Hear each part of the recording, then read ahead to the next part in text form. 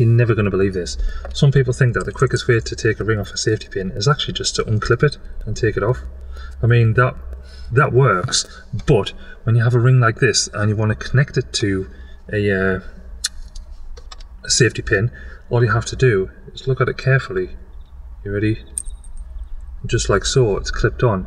Now to get it off, all you have to do is just hold it in your hands, and then if you have a hand underneath, you let go, and it comes off. And just like so, that's how you take a ring off a safety pin in less than a second. Nice! Guess what?